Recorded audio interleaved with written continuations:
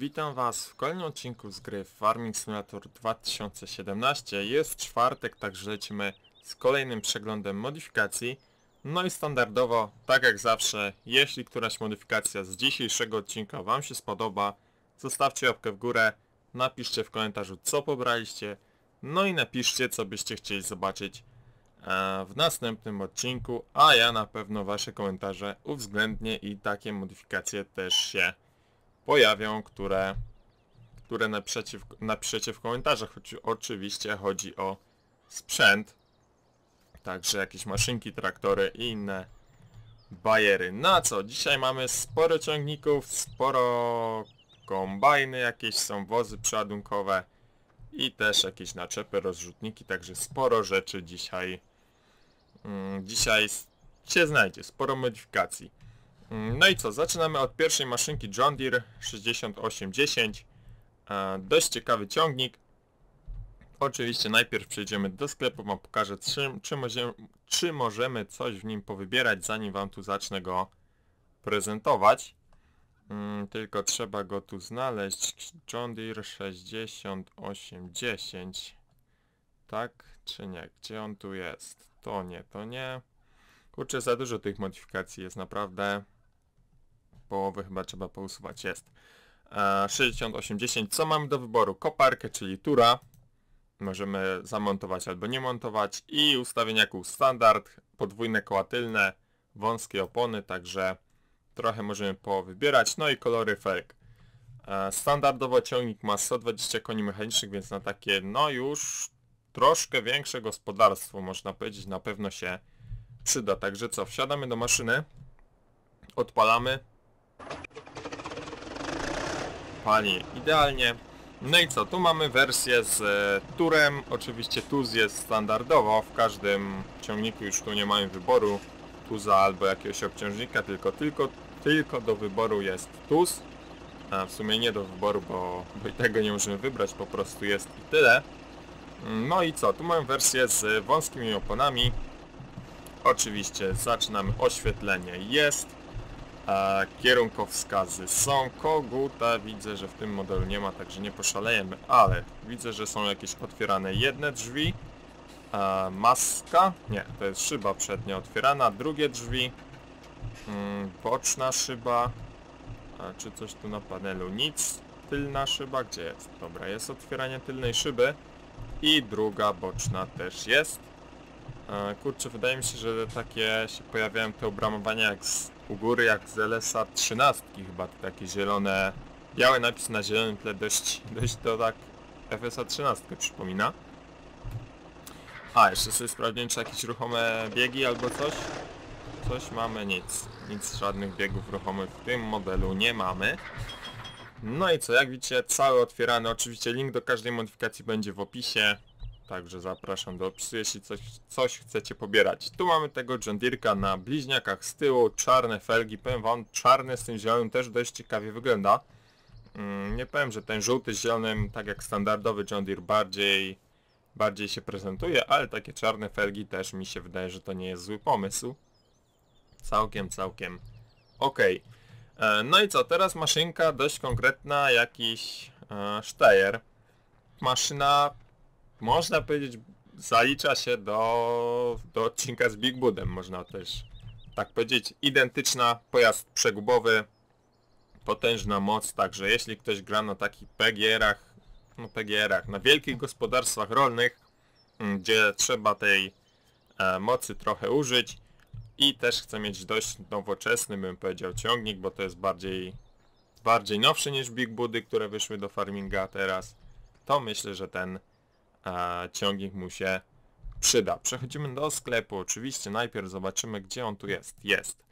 E, 600 koni mechanicznych, więc maszyna dość konkretna. 50 na godzinę, także też nie jest wolna. Dość ciekawie, szybko się porusza. No i co, ustawienia kół standardowo, czyli pojedyncze, obciążniki na opony, mm, podwójne koła i potrójne, także też dość masywnie może wyglądać. 600 koni w takim mniejszym, mniejszym wyglądzie. Jest dość wąski ten Steyr w porównaniu do innych Big, Budu, big Budów, to naprawdę jest, jest dość wąski. potrójne koła, no i bliźniaki, także odpalamy maszynę. Czy możemy jeszcze coś tu porobić z zewnątrz? Chyba nie. Dobra, maszyna działa. A, czy możemy coś pootwierać? Nic, chyba nie możemy porobić. Biegi też tu żadne się nie, nie ruszają. Oświetlenie jest.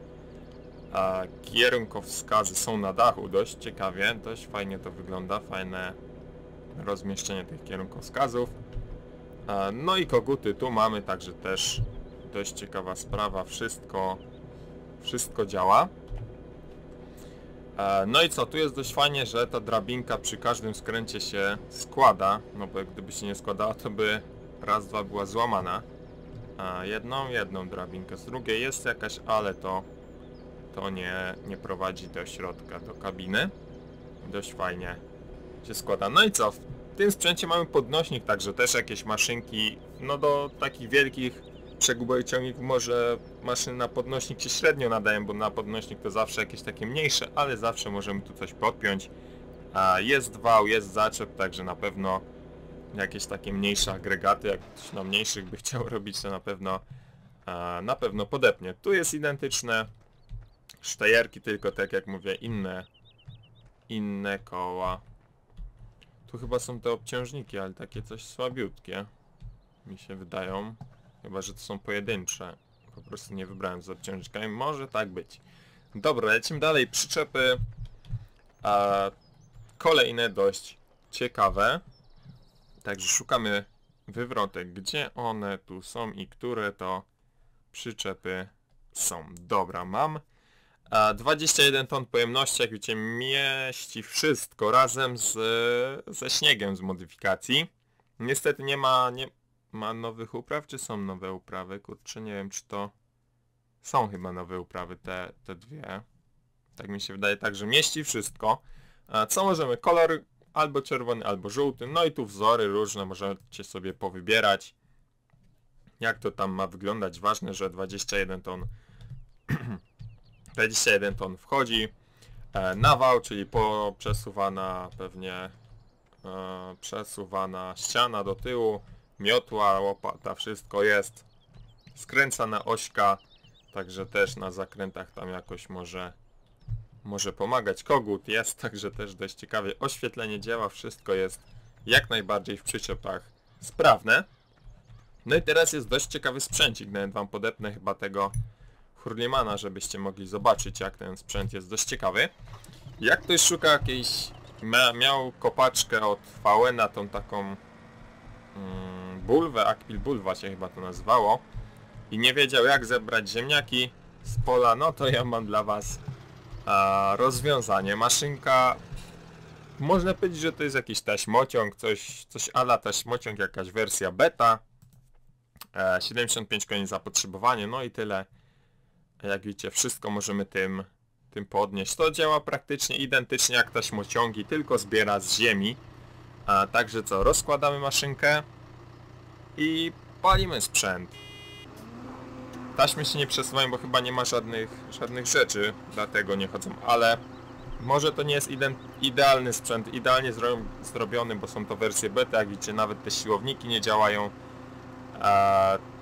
stoją w miejscu, ale w końcu może dziwnie to wygląda, ale myślę, że jak ktoś znajdzie idealny ciągnik do tego pasujący, to już naprawdę fajnie sobie te, nie wiem, na przykład słomę pozbiera w tym i na przyczepę na bok, e, ziemniaki zbiera z ziemi, zboża, wszystkie, także naprawdę sprzęt jest dość ciekawy, no nie wygląda mega jakoś epicko, e, bym powiedział wczesna alfa tej modyfikacji, ale możemy w końcu te ziemniaki z ziemi pozbierać, nie musimy się bawić z turem, tylko czymś takim możemy sobie wjechać obok, obok ważne, żeby jechała jakaś przyczepa, żeby na to, na coś to sypać, no i naprawdę sprzęt jest dość, dość ciekawy.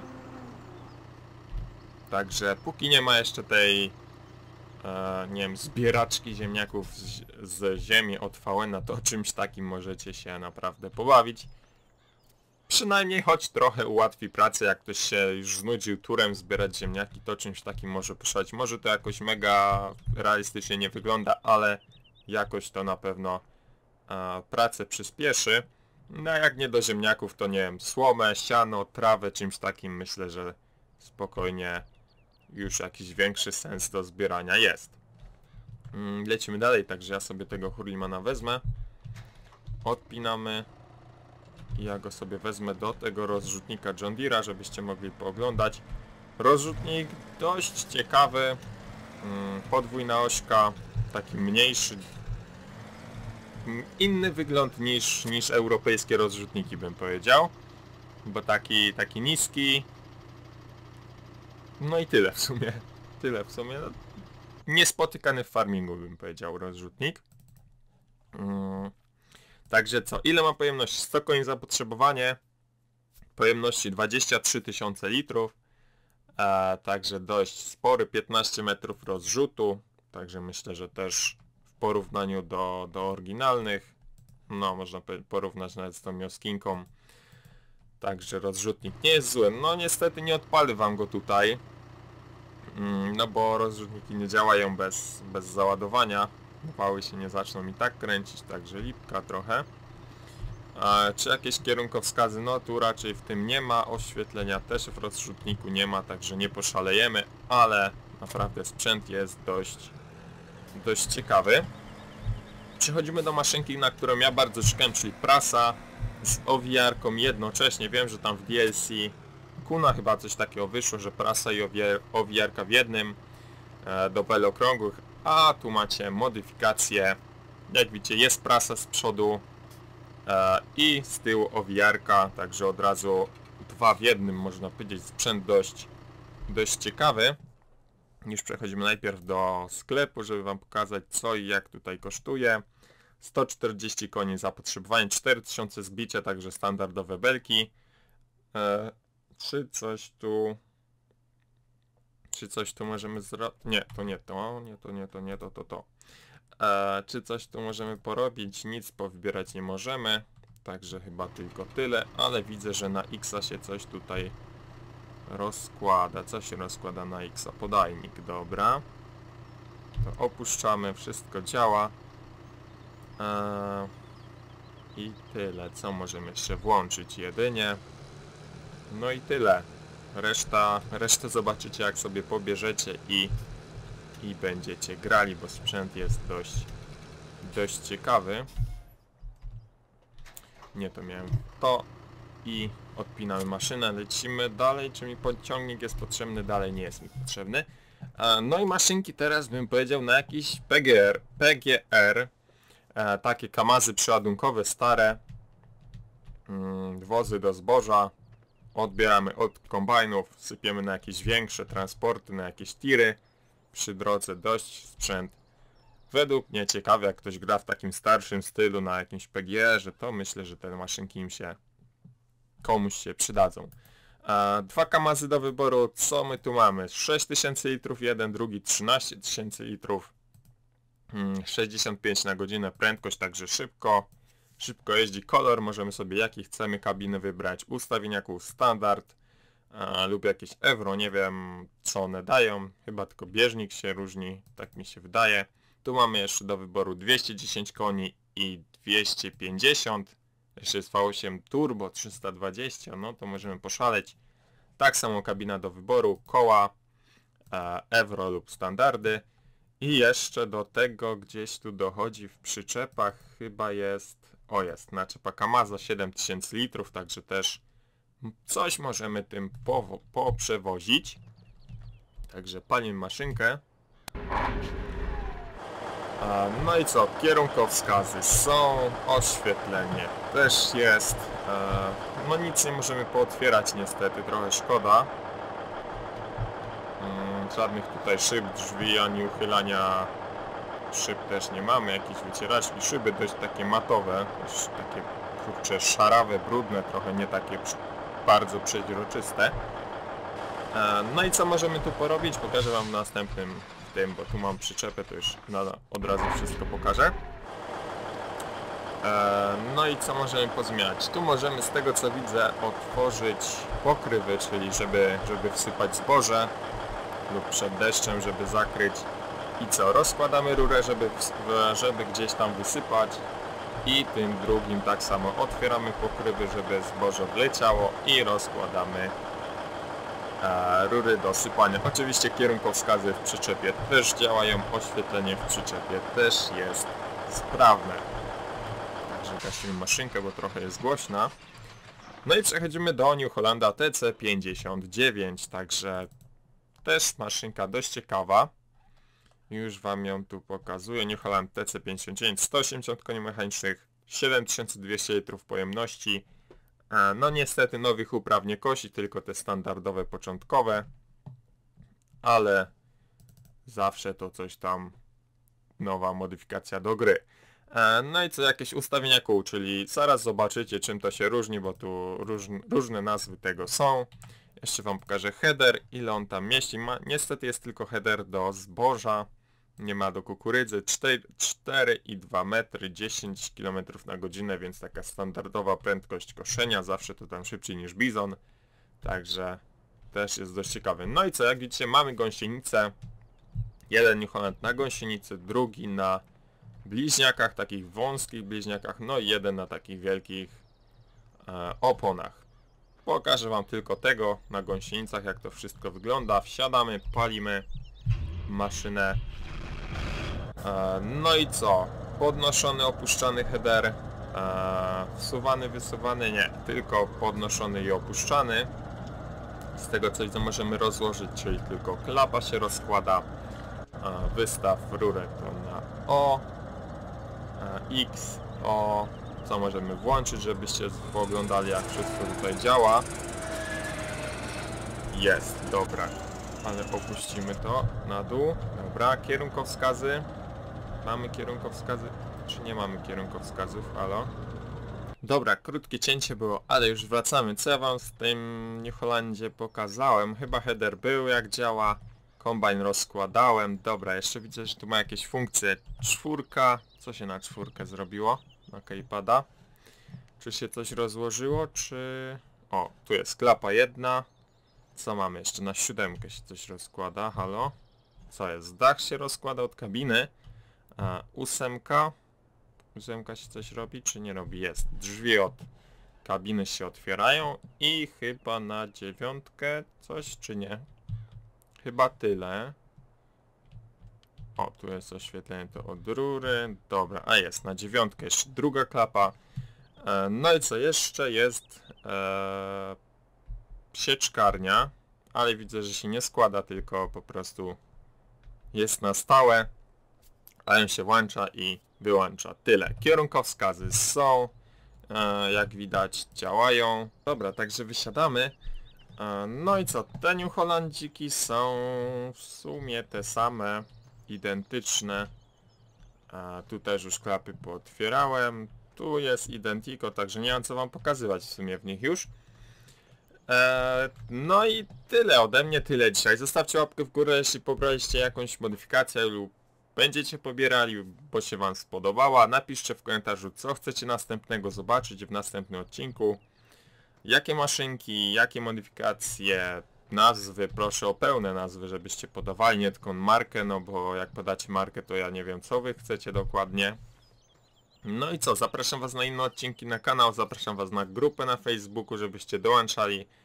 E, No i ode mnie tyle, także trzymajcie się, do usłyszenia, cześć!